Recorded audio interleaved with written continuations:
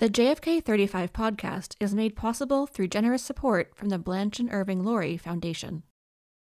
Nobody could match John Lewis' courage. Then, when it came to walking into the fiery furnace, marching through the valley of the shadow of death, John didn't think twice about it. John Lewis was just 21 years old at the height of the civil rights movement.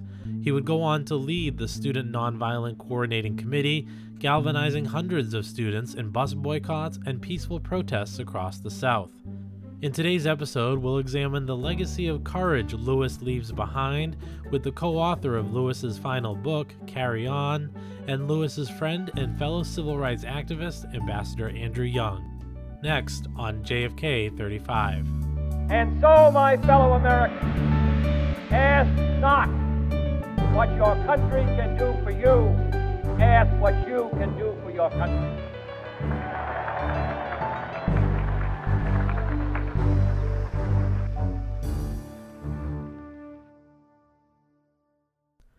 Hello, I'm Matt Porter. Welcome to JFK 35. Representative John Lewis loomed large over the American civil rights movement for 60 years before he died of cancer in 2020. Lewis marched with Dr. Martin Luther King Jr. and helped organize the 1963 March on Washington for Jobs and Freedom. He continued marching throughout his life, including last year at Black Lives Matter Plaza in Washington, D.C., after the murder of George Floyd.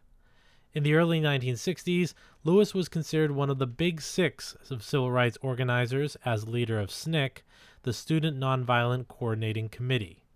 Before the March on Washington, Lewis met both Robert F. Kennedy and President Kennedy at the White House with Dr. King and other civil rights leaders at the time.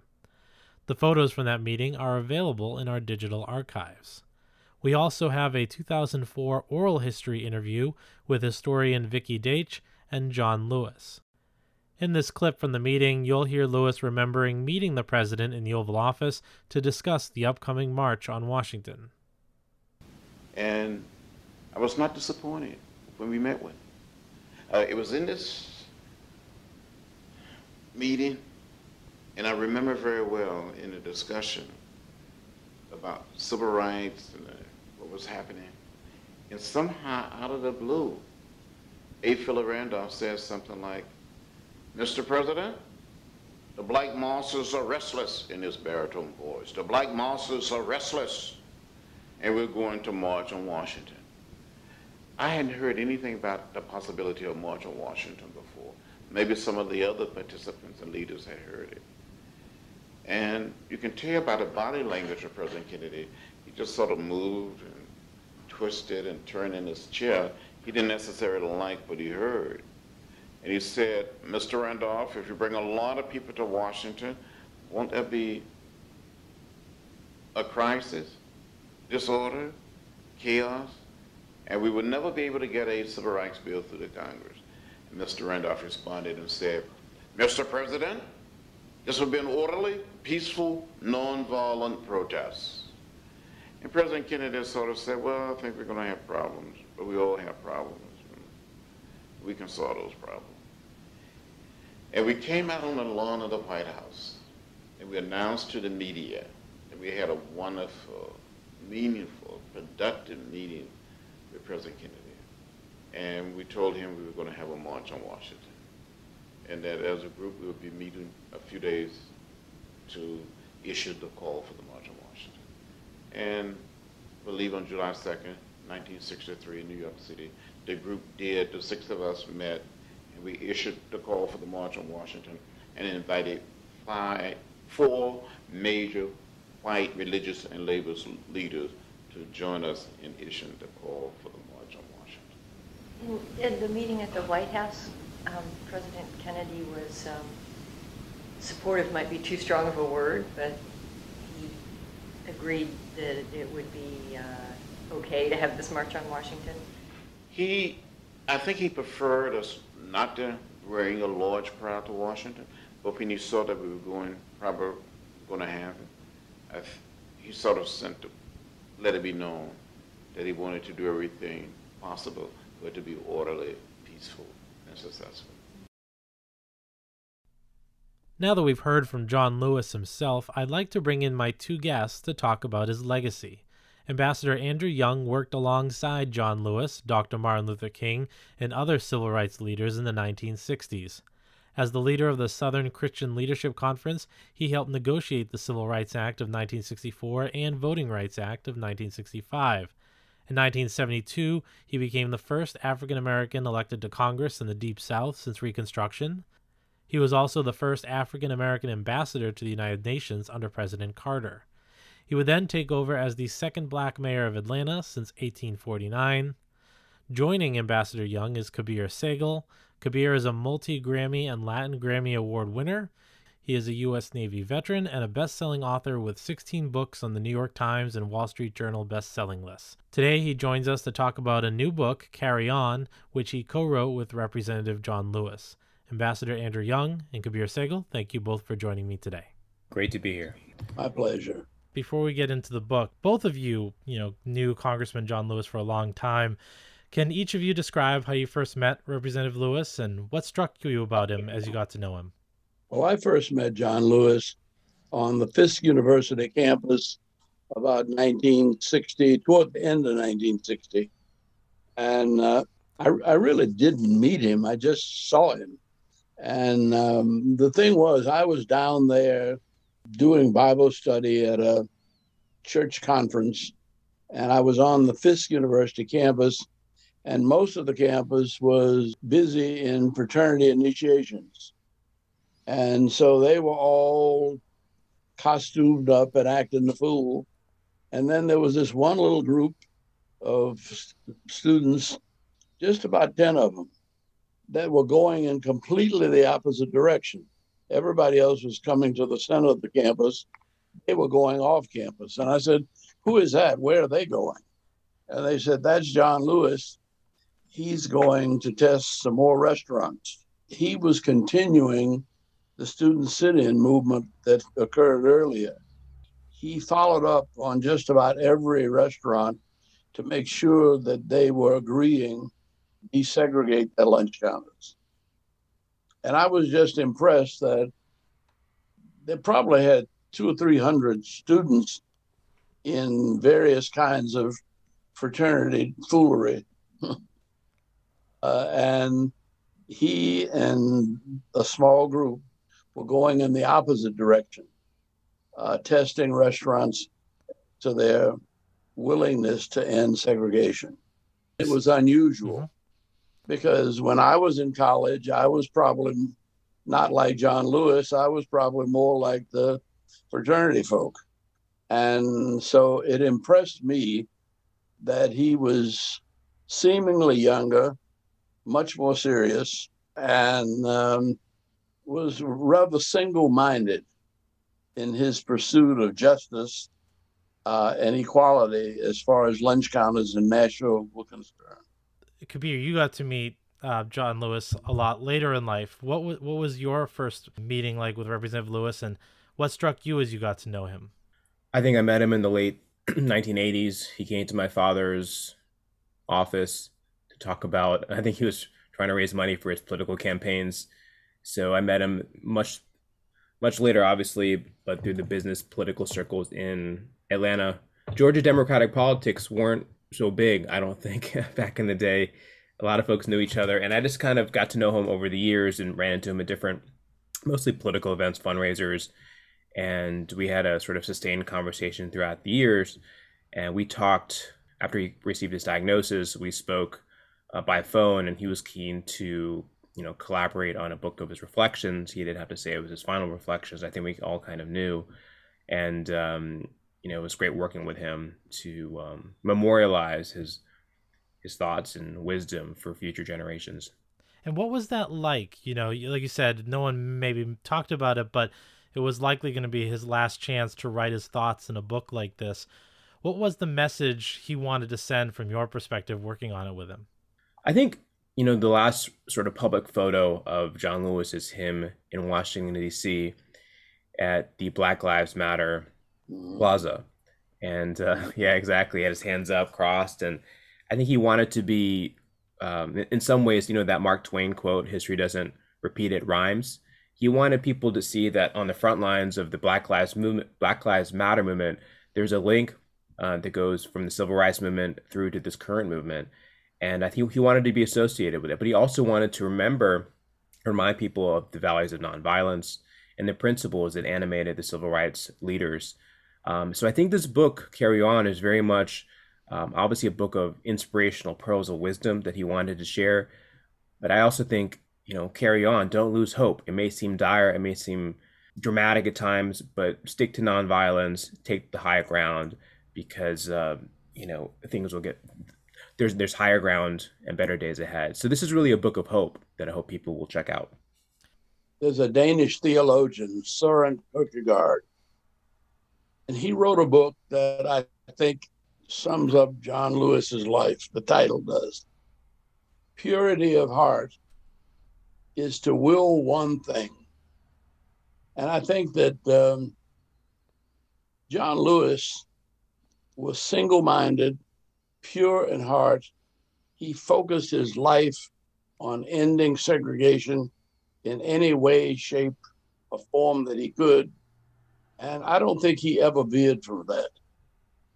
I remember reading that into your introduction, Ambassador Young, and I think you also said, you know, the book is called Carry On, but you mentioned it could be called Humility when referring to Congressman Lewis. Why did you say that? Because John was genuinely humble. He had almost no ego. And one of the things that I was curious about, because I didn't know him well, but I knew I knew that there were there were a hundred students from various college campuses across the country that would have wanted to be the chairman of the Student Nonviolent Coordinating Committee. All of them had credentials all of them were brilliant orators. Uh, all of them were great personalities. I mean, they were they were just an exceptional group of kids. When I say kids, 19 and 20, 18 through 21, maybe. But when they got to uh, Johnson C. Smith for the convention that was to elect the leader of the Student Nonviolent Coordinating Committee, they elected John Lewis. And when I asked some of the people, why was John Lewis elected when you had so many others who were competitive in various ways? And they said that nobody could match John Lewis' courage. That when it came to walking into the fiery furnace, uh, marching through the valley of the shadow of death, John didn't think twice about it and he had been in every um, rough and tumble demonstration uh, that had taken place practically between 1960s sit-ins and the bridge uh, over the Selma River, uh, Edmund Pettus Bridge, uh, in 1965 something that's particularly close to us is that era here at the JFK Library of the 1960s. Uh, Ambassador Young, if you want to tell us a little more about what that was like and what made John Lewis sort of special for that moment, particularly thinking about all the younger folks who don't have any, you know, link to that era. Well, I think that um, John Lewis was linked to the action. He wasn't just prominent on a college campus. He was prominent in the sit ins, and he was prominent again in the Freedom Rides. Uh, and both of these were really, uh, in fact, there was, was a movie done on the uh, Nashville sit in story that featured him. And the thing is, it doesn't feature him making a speech. It doesn't feature him um, being a rabble rouser. It features him as a calm, solid, almost innocent young man walking through the valley of the shadow of death and fearing no evil. Really interesting, and you want you wonder what influenced Congressman Lewis. So Kabir, you know, to you, there are two chapters: one on mentors, which he talks about um, Dr. Martin Luther King, and one on heroes, where he talks about Mahatma Gandhi. How did those two greats, great men, influence John Lewis and the leader he would become? There's a uh, reverence for doc, for uh, Mahatma Gandhi. The nonviolent philosophy can be traced to Mahatma Gandhi, Leo Tolstoy, the New Testament. So there was a strong and a long uh, intellectual framework for nonviolence. I remember Dr. King, when he went to India, he said he didn't go to India as a tourist, but went as a pilgrim. And there's long been an affinity and uh, connection between the nonviolence movement in in uh, India and what happened in the civil rights movement in the 1960s, when when um, Gandhi was was leading his protests against the British. He was marching hundreds of miles to the sea to make salt in protest of the salt laws, the bans to make salt by the British, and it was a very violent. But they didn't fight back, and that obviously dramatized what was happening in India, and it captured the world's attention that of the inhumane actions by the British. And I think um, I like to call Ambassador Young, who's Ambassador Young is a great filmmaker and a great uh, storyteller. He's made many films, and I think a lot of the leaders of the civil rights movement understood drama in a way, when to do the marches, how to do the marches, how to dramatize action. So I think there was the intellectual framing and also the storytelling that um, that uh, Gandhi portrayed in his in his march towards um, a free India. That's the Indian portion. Maybe Ambassador Young can um, can share more on this. Ambassador Young, do you want to talk about mentors for John Lewis? John Lewis was, I think, 14 or 15 when the Montgomery bus boycott started. And he was in a little country town right near there, Troy, Georgia. I mean, Troy, Alabama. And he had been denied a, a library card uh, he had been denied entrance into Troy College, community college, and he wrote Martin Luther King a letter. And Martin sent him a bus ticket to come to visit him in Montgomery. And I think that that began a friendship. Both of them were very young. John was 20, was 15, and Martin was just 25 or 26 they they could have been brothers. Hmm. You know, they they were very much the same size. They both wanted to be preachers, and I think that uh, they impressed each other, and that became a lifelong uh, friendship between the two of them. This can go to either of you, but you know, we talk about John Lewis's great mentors, but Lewis himself was a mentor and hero for many in today's social justice movement. I think, in a way, we're lucky to have him serve in Congress and lead such a long life. Either of you can pick this up, or both of you. How do you think the influence of John will influence the next generation? I think that, um, you know, John Lewis is going to be one of the first people that pop up, no matter what you look up. If you look up sit ins, if you look up the Freedom Rides, if you look up Selma, if you look up uh, the war in Vietnam, you're going to always run into John Lewis because he was consistently in the forefront of the nonviolent movement uh, during all of this period from roughly 1955 60 uh, right straight on through till 2020 and Kabir, do you want to pick up on that?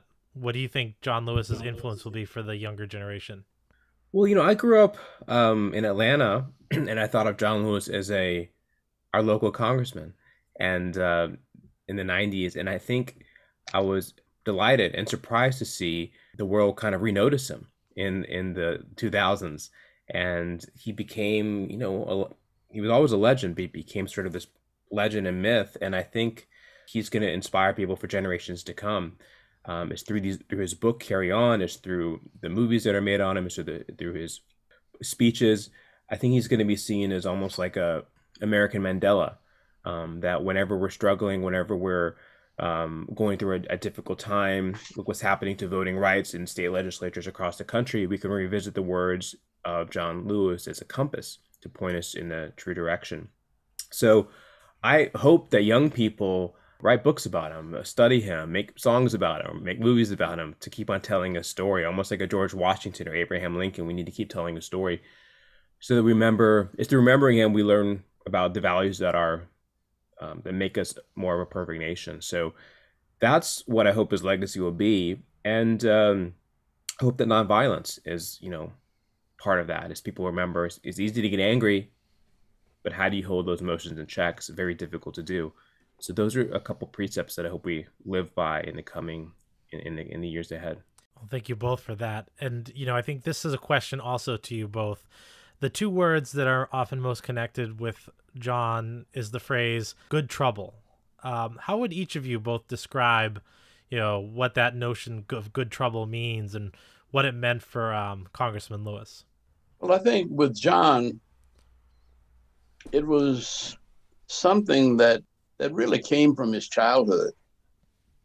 Uh, it was his childish way of saying that when his parents wanted him not to get in any trouble, uh, to stay in his place, not to rock the boat, not to challenge segregation, he considered that trouble, yes, but he made a distinction between bad trouble and good trouble. Good trouble was when you challenge the evil of your society. Yeah, and it's you know that's what Thoreau talked about. It's it's it's about um again the drama. You know, I remember Ambassador Young saying they they staged a lot of these protests so that it would happen during the evening news block, and so people would be paying attention. And I think good trouble is you know civil disobedience. It's taking a knee in a bank. It's uh, protesting at the lunch counter. It's it's what Claudette Colvin and and uh, Rosa Parks did in in um, Montgomery. So I think um, you know it's it's drawing attention to what's unjust, but not in a violent way, which takes a lot of thought. It takes a lot of restraint, but ultimately you have to have hope that. I mean, you have to hope, have hope that the world will change, and that's what Carry On is about. In the book, Congressman Lewis talks about the time he was beaten up in South Carolina uh, he was one of the original freedom fighters. And years later, in I think in the early 2000s, he was contacted by someone who had beat him up. He said, I want to come and make amends uh, for what I did to you in Rock Hill, South Carolina. So they met, and uh, John Lewis ultimately, this, this man, the assailant, asked for forgiveness. John Lewis obviously forgave him, and he said, You know, people don't grow, they people don't change, they grow. It took this man 30, 40 years, 50 years, but he realized that you know, he was wrong and that's a microcosm what happened in society is if you keep on if you keep focusing eyes on the prize people change societies change and the system changes. Ambassador young you wrote in your introduction which was a really great introduction to this book about how this country today has been exposed by two plagues. Um, the first covid-19 and the and the second being the plague of social injustice rising up again. How can this book carry on do you think serve as inspiration for those fighting the good fights, getting into good trouble, as both of these plagues sort of still exist concurrently in our country? Well, you know, there's a hymn that Martin Luther King used to quote Truth forever on the scaffold, wrong forever on the throne. But that scaffold sways the future, for behind the dim unknown standeth God within the shadows, keeping watch above his own. And I think that it was quite unusual. In fact, it could have meant his death, even in Troy, Alabama, for challenging the the uh, library, uh, wanting to get into uh, Troy College, uh, Troy University. That this was not uh, play stuff, and I think uh, a part of what we began to see. I mean, that with with John marching, and even in Selma, uh, it looks like a big line, but it's only a couple of hundred people. And um, in Nashville, it was a small group. In the Freedom Rides, it was um, just the passengers on a bus uh, against a mob of tens of thousands. That there is a difference in the kind of risk and the kind of struggle you're willing to take on. And John didn't calculate his risk. Uh, he basically decided he was going to do what was right. And and um, Kabir, to build off of that, you know, as we I think we mentioned right at the beginning of this interview, that photo of uh, Congressman Lewis uh, on Black Lives Matter Boulevard in D.C. Um, after the death of George Floyd and all of those protests. You know, we saw the surge in activism. In your, you know, the time you spent with him, how did Congressman Lewis feel about the future of these activism and social justice movements uh, before he died? What did he hope for the future? Was he optimistic? He was optimistic. His last um, kind of his final words in this book are really, you know, don't lose hope and he was inspired by the obviously he was inspired by the actions of the protesters that people were mobilizing i think he would have been very happy that the mobilization that happened in june 2020 sort of catalyzed i think voter uh, outreach and turnout which ultimately led to not only winning the white house but winning the two senate seats here in georgia. His pastor and his intern raphael warnock and John ossoff became georgia senators. And um, I'm sure he would have been very delighted to have seen, you know, and they were campaigning for issues of social justice and and change and voting reform. so the fight continues, and I think the most um, in in the book, carry on, he is very exclamatory about voting. He says, "Vote, vote, vote, vote, vote." Write it all over the page. Put it in caps lock, in capitalized letters, and he would have been um, delighted to see the the success of, of the outreach in Georgia, and he would have been dismayed at what's happening again in the, in the state legislatures and would have been probably advocating for the bill that's named after him, the John Lewis Voting Rights Bill. So the work continues; it always does, and uh, he'd be probably on the front lines advocating for voting rights today. Before we go, I just have a couple more questions, and this one is for you, Kabir. You know, most of Carry On focuses on political or social justice issues but there were several chapters that were a bit more personal on on details from friendship to marriage to sports. Curious what what was one of your favorite chapters that didn't deal directly with politics and why did you think why would did John think it was important to talk not just about the meat and potatoes of politics but these other issues? Yeah, we wanted just to capture John Lewis the man. I mean, he, he has written books on the civil rights movement. He's written books on his philosophy of of uh, nonviolence. But this book was really about pearls of wisdom, like a Tuesdays with Morrie about life, and you know, it was about him drinking milkshakes. He loved you know vanilla and strawberry milkshakes. One of his favorite hobbies was going down to uh, the ant- local antique shops and buying antiques. He was an avid book collector. He uh, loved paintings and uh, photography. So he he enjoyed you know uh, sports, and he always was very proud about the Falcons when they did well, and, and the Braves and the, and the Atlanta United. So he, he lived with cats. You know, he talks about his relationship with, with his cats. So we wanted to capture these sort of gems that you won't find elsewhere in the John Lewis literature, if you will. So, you know, it's not just good trouble on a bumper sticker. It's this man who is very human and had vulnerabilities and frailties and spoke in a very soft tone when it came to this book, and we're so glad that um, he gave us these final pages that we can revisit forever. And that's what Carry On is all about. And then uh, my final question, which goes to both of you, you know, as you mentioned, you know, John Lewis is already potentially being memorialized, and hopefully that new Voting Rights Act uh, that's on the table, and also like uh, Kabir, as you said, you know, the two new uh, senators from Georgia, John Lewis's home state, so that will always be you know, something that was part of his work. What do you both of you hope that people will remember most about Congressman John Lewis going forward? I think that this courage, Maya Angelou said, courage is the most important virtue. For without it, none of the other virtues become relevant. John Lewis was a courageous young man all his life. Yeah, and I would just I would say um patience, perseverance. He sort of remained almost to the point of being dogmatic. He was he had a perseverance towards his cause, uh, whether that was legislation or voting rights or whatever it was. He just would not take his eyes off the prize, and that doggedness is something I think, with his principle doggedness, um, is something that we should all um, admire in him.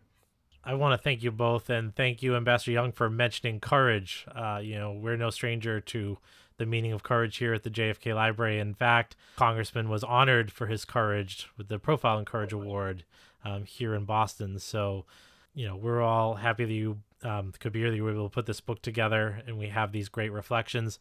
Ambassador Young, thank you so much for joining us. Um, Kabir, thank, thank you. you very much. Thanks so much. You take care. Okay.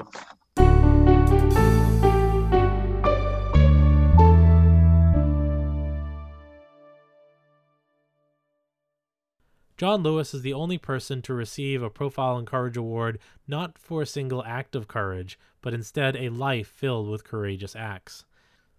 It seems only fitting to leave you then with Lewis reflecting on courage in a clip from his speech accepting the award in 2001 at the JFK Library. On this very day, May 21st, 1961, exactly 40 years ago, the Freedom Riders were trapped in the sanctuary of the First Baptist Church in Montgomery. The day before, we had been surrounded by a sea of people at the Montgomery Greyhound bus station.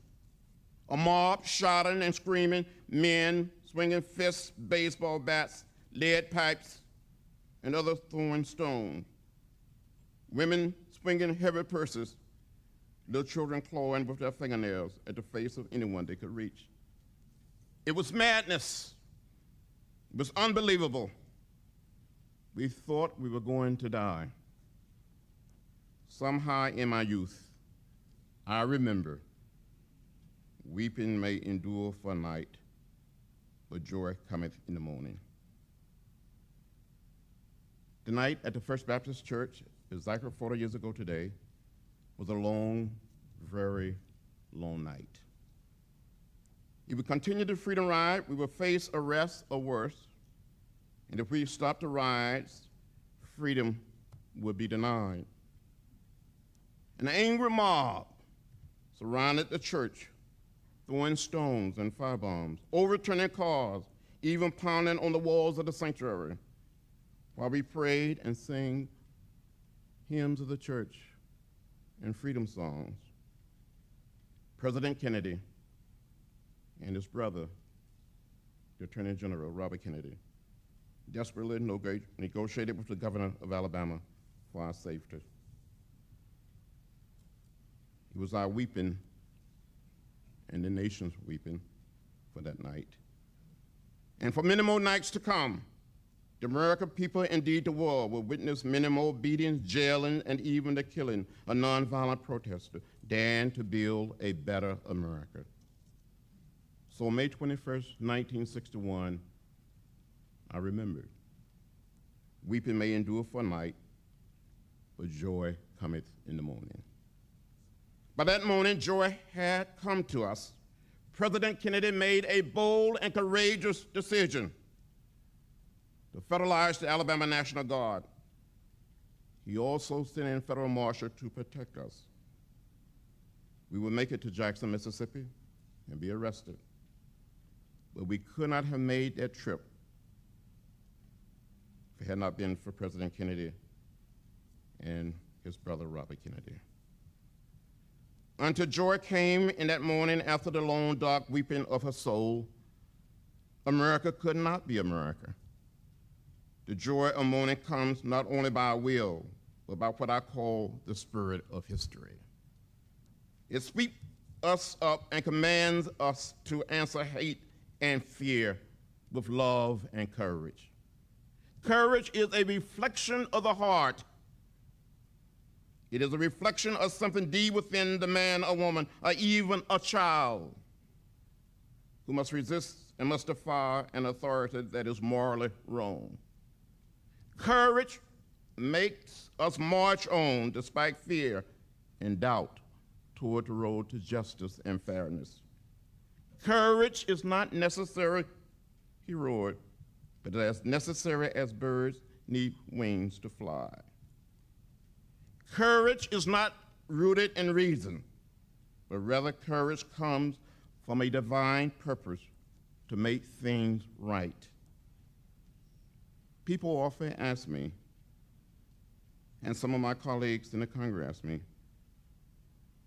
how did others and I continue our nonviolent protest through the 60s with the likelihood that we will be beaten, imprisoned, or even killed? President Kennedy is my best answer to this question. In 1963, he said, The question of race is a moral issue. It is as old as the scripture itself.